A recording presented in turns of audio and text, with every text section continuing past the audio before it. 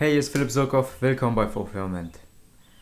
In diesem achten Video aus meiner Meditationsserie erzähle ich dir nun etwas zu, ja, so ziemlich der bekanntesten Position, äh, in der man meditieren kann, die Sitzmeditation, Sitzposition.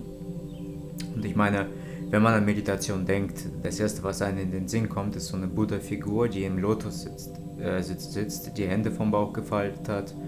Und äh, man denkt, wenn man jetzt meditieren möchte, muss man sich unbedingt so hinsetzen und äh, das ist ganz kompliziert und man ist nicht gelenkig genug und so weiter. Äh, wenn du meine bisherigen Videos geschaut hast und schon einige der Übungen, die ich dir erklärt habe, gezeigt habe, probiert hast, wirklich aktiv probiert hast, zum Beispiel Atemübungen oder Übungen, um das äh, eigene Körpergefühl zu verbessern, dann hast du bereits meditiert.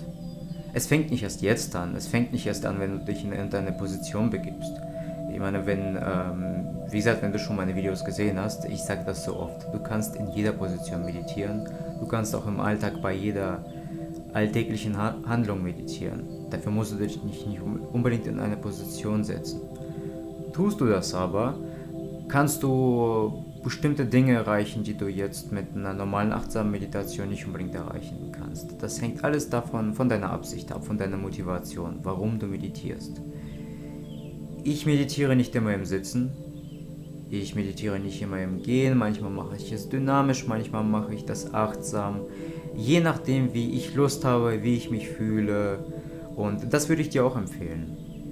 Also auch solche Sitzmeditationen hinzufügen, probieren, machen und im Alltag trotzdem achtsam meditieren ähm, als Ergänzung. So behält man diesen meditativen äh, Zustand bei.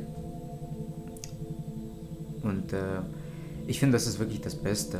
Wenn ich das mache, fühle ich mich am wohlsten, bin am ruhigsten, schaffe am meisten.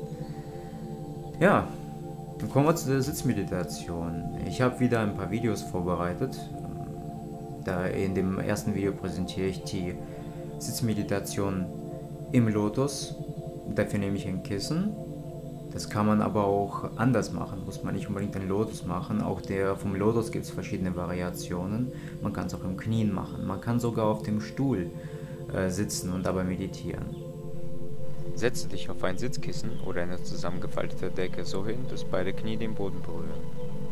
Bewege dich leicht nach links und rechts sowie nach vorne und hinten, um die bequemste Haltung, in der deine Wirbelsäule gerade ist, zu finden. Stelle dir vor, dass an deinem Scheitel ein Faden befestigt ist, der durch deine Wirbelsäule geht, dich nach oben zieht und damit deine Haltung verbessert. Verspanne dich dabei aber nicht. Lege deine Hände nun vor dem Bauch zusammen, die linke Hand in die rechte. Die Daumen berühren sich, das ist eine klassische Haltung. Es gibt verschiedene Handpositionen, die man Mudras nennt. Sie kommen aus Indien und sollen deine Energien in verschiedene Bahnen leiten. Wenn du dich aber vorher nicht damit befassen möchtest, dann empfehle ich dir die klassische Variante, denn dabei bleiben die Schultern entspannt und der Brustkorb ausgebreitet. So kannst du tief und gelassen atmen. Befinden sich die Hände jedoch zu tief, wird die Wirbelsäule krumm und der Brustkorb eingeengt. Das Atmen wird damit erschwert. Hältst du die Hände dagegen zu hoch, so läufst du Gefahr, auch die Schultern mit anzuheben, was unbequem ist, verspannt und stresst. Die beste Position ist unter dem Bauchnabel. Der Lotussitz ist deshalb so beliebt, weil die Knie und das Gesäß die Eckpunkte eines Dreiecks bilden, in dessen Mitte sich dein Körperschwerpunkt befindet. Somit kannst du in einer aufrechten Position lange verharren. Wenn du aber nicht sehr beweglich bist, dann kannst du auch eine einfache Form des Lotus einnehmen, so wie ich es tue. Ich lege die Beine nicht aufeinander, sondern vor mir nebeneinander. Mir ist übrigens aufgefallen, dass ich in äh, meinen letzten Videos nicht wirklich betont habe, wie wichtig es ist, dass man körperlich entspannt bleibt. Ich habe es zwar gesagt, aber ich möchte nochmal betonen, dass es enorm wichtig ist, dass man sich wohlfühlt, dass äh, die Schultern entspannt bleiben, nicht, nicht angehoben sind. Das habe ich bereits, äh, ich glaube, in meinem ersten oder äh, zweiten Meditationsvideo äh, erzählt, warum das für Stress sorgt. Außer den Schultern gibt es noch andere, andere Spannungen, die für Stress sorgen können, wie zum Beispiel ein zusammengekniffener Hintern. Ja, wenn du die Gesäßmuskulatur angespannt hast, wirst du auch gestresst. Das ist äh, Teil von, diesem Muskel, von dieser Muskelpanzergeschichte. Noch eine Sache ist, wenn man die Zähne zusammenbeißt, äh, wenn man, äh, dann spannen sich hier Muskeln an und an dieser Stelle entstehen dann Verspannungen. Und auch das sorgt für Stress. Wenn du dich zum Beispiel mit jemandem unterhältst und äh, du erzählst ihm nicht gerade die angenehmsten Sachen oder dieser Mensch durchlebt äh, stressige Zeiten, dann kannst du das oft beobachten, dass der Mund richtig zu ist, die Lippen verspannt und beißt auf die Zähne zusammen. Man sieht das äh, daran, dass die Muskeln hier an der Seite dann so spielen. Hm, das ist ein ganz häufiges Bild bei gestressten Menschen. Das äh, solltest du bei der Meditation vermeiden. Dafür den Mund, die Zähne nicht aufeinander äh, beißen lassen, sondern äh, den Kiefer locker lassen, die gesamten Muskeln entspannen. Äh, als Vorbereitung für Meditation habe ich bereits erwähnt, dass man sowieso bisschen Massage machen sollte, generell entspannt sein sollte. So äh, gelingt der Einstieg in die Meditation viel besser. Achte darauf, dass du die Zähne nicht zusammenbeißt der Kiefer entspannt ist. Du kannst äh, zur Kontrolle die Zunge so ein bisschen, äh, die Zungenspitze so ein bisschen zwischen die Zähne schieben, sodass äh, du nicht irgendwann aus Versehen äh, die Zähne aufeinander beißt und das einfach nicht merkst. Was ich noch empfehlen würde, ist es, ähm, die Zunge oben, äh, in, in der Mundhöhle oben äh, zu drücken nicht verspannt, sondern einfach nur dort zu positionieren und dort zu lassen. Dann kannst du natürlich die Zunge nicht zwischen die Zähne schieben, aber wenn du deinen Kiefer ohnehin locker hältst und gut kontrollieren kannst, dann äh, brauchst du es mit der Zungenspitze auch nicht zu machen. Und äh, noch eine weitere Sache, also Kiefer, Schultern, Gesäß, Beine. Zum Beispiel, wenn du in der, im Lotus sitzt. Und äh, ich bemerke das recht häufig bei mir ähm, ich spanne dann zum Beispiel meine Beinmuskulaturen. Mal die linke Wade, mal der, den rechten Oberschenkel, nur um meine Sitzposition, um meine Balance zu finden. Das äh, sollte man aber vermeiden, dafür ähm, wippt man links, rechts, nach vorne, nach vorne und nach hinten, wenn man sich auf das Kissen hinsetzt, damit man diese perfekte Balance findet, sodass man dann später nicht mehr das Ganze durch äh, muskuläre Arbeit erreicht, unterstützt. Das heißt, die Muskeln sollten wirklich entspannt sein, auch an den Beinen. Äh, wenn du aber meditierst, dann, wir, dann merkst du es, dann wirst du es merken und äh, kannst es bewusst dann entspannen. Das äh, unterbricht die Meditation nicht und kann sogar, kannst sogar merken, wie es auf einmal viel besser geht, was dich da motivieren kann, dich noch weiter in die Meditation zu vertiefen. Das ist bei mir zum, äh, äh, zumindest der Fall. Bleib entspannt, Schultern locker, Brustkorb weit nach außen, um viel Luft zu bekommen. Äh, den Bauch entspannt halten. Das ist auch so eine Sache, die bei uns häufig verspannt ist heutzutage. Vor allem im Sommer, wenn man im Schwimmbad ist, zum Beispiel bei Männern, dass man schnell den Sixpack zeigen möchte, dass man dann oft den Bauch anspannt. Und dadurch, dass man das ziemlich oft und über längere Zeit macht, äh, macht man das auch, wenn man Kleidung aufhat, weil die Muskeln diese Spannung lernen und beibehalten. Das sollte man echt vermeiden. Also auch Bauch entspannen, denn mit einem angespannten Bauch kannst du nicht tief in den Bauch atmen.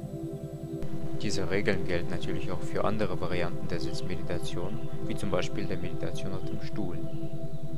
Achte darauf, dass die Wirbelsäule gerade ist und die Schultern ausgebreitet, der Brustkorb ebenfalls, damit du tief atmen kannst. Setze dich auf die vordere Hälfte oder vielleicht sogar das vordere Drittel der Sitzfläche damit die Beine eher nach unten tendieren als nach oben. Du kannst deine Hände vor den Bauch legen, kannst sie aber auch auf die Knie legen. Allerdings läufst du dabei Gefahr, über den längeren Zeitraum immer krummer zu werden und es noch nicht einmal sofort zu bemerken.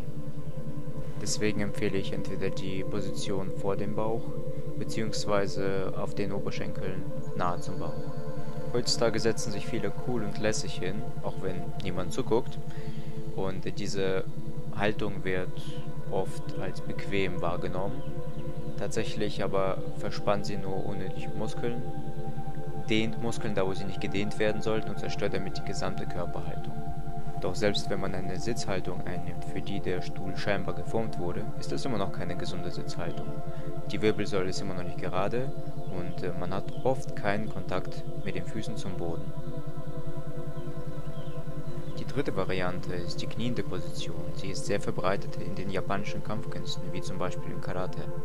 Obwohl man diese Position auch Fersensitz nennt, sollte man darauf achten, dass man nicht auf den Fersen sitzt, sondern der Schwerpunkt auf die Schienbeine konzentriert ist, gerade nach unten. Manchmal entsteht dabei das Gefühl, als würde man sich nach vorne neigen, aber das ist in Ordnung. Oft ist die Vorstellung stärker als die Realität.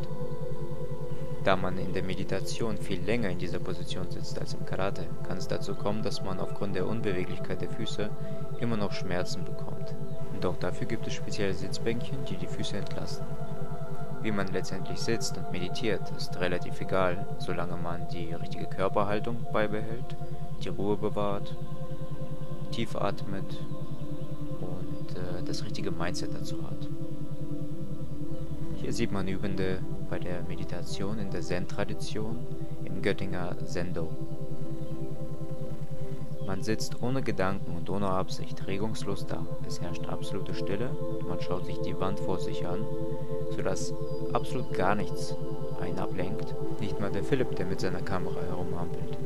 Natürlich habe ich sie abgelenkt, deswegen vielen Dank für die Geduld. Wie ich schon sagte, gibt es verschiedene Formen von äh, Meditation an sich auch Sitzmeditation, man kann das für sich machen, man kann das im Büro machen, man kann das überall machen. Äh, zu Hause, solange die Sitzfläche nicht zu weich ist, dafür würde ich deswegen ein Sofa nicht empfehlen. Man muss dafür nicht irgendeiner Tradition folgen. Zen ist eine wunderbare Sache. Die Zen-Meditation, also die Zen-Buddhismus, äh, Zen, Zen äh, auch ohne Buddhismus, einfach nur Zen-Tradition der Meditation ist wirklich gut, wenn es dich auf deinem Weg begleitet.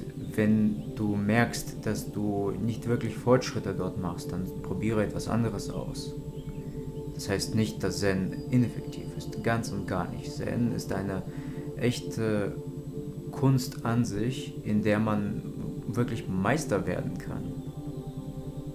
Aber wenn du jetzt nicht unbedingt meditierst, um irgendwo Meister zu, zu werden und um, um große Erleuchtung zu erlangen, um ein Buddha zu werden, sondern einfach nur um dich zu, um herunterzufahren, um all, die, all diese Gründe, die ich hier im, in meinen ersten Videos genannt habe. Wenn du dir deiner Motivation bewusst bist, dann musst du nicht Zen machen. Fühl dich zu nichts gezwungen. Das ist, äh, wenn du dich äh, in irgendein Schema gezwungen fühlst, auch bei der Meditation, dann meditierst du nicht, dann ist das sehr kontraproduktiv. Ja, so viel dazu. Das war jetzt äh, das Video zur Sitzmeditation. Ich äh, fasse nochmal kurz zusammen. Es gibt verschiedene Sitzmöglichkeiten. Äh, die, den Lotussitz, den Kniesitz äh, und den äh, ja, ganz normalen Sitz auf dem Stuhl. Eigentlich ist es egal, wie du sitzt. Hauptsache, dass du äh, die richtige Körperposition beibehältst, dass deine Muskeln dabei nicht verspannt sind, dass du tief atmen kannst und äh, dass du in dieser Position über längere Zeit entspannt und bequem verharren kannst. Das ist wichtig. Wie du dann sitzt, ist absolut egal. Du kannst dir auch Hilfsmittel dafür nehmen, wie zum Beispiel ein Sitzkissen oder ein Sitzbänkchen oder auch, ja, wie gesagt, ein Stuhl. Und äh, das ist ein wichtiger Bestandteil der Meditation, aber nicht äh, unbedingt ähm, voraussetzend. Also du musst nicht im Sitzen meditieren, um zu meditieren. Wie ich schon oft sagte, kannst du das auch beim, äh, beim Abwaschen machen, das kannst du beim Essen machen. Beim Essen ist es super effektiv.